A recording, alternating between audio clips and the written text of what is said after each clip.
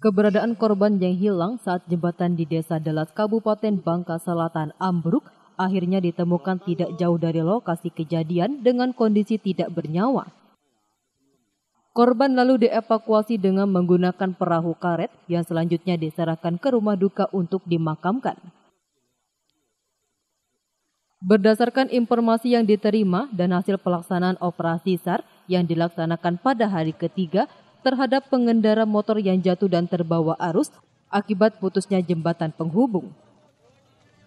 Petugas berhasil menemukan keberadaan korban di hilir sungai dengan jarak 2 km dari lokasi kejadian dalam kondisi meninggal dunia.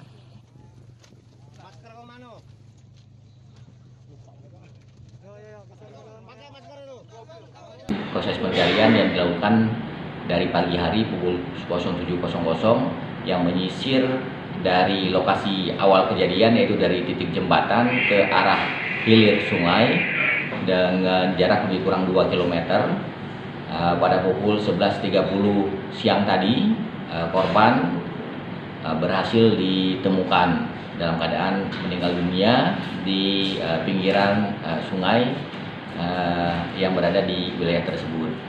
Kemudian eh, korban selanjutnya langsung dievakuasi dan diserahkan kepada pihak keluarga untuk dibawa ke rumah duka.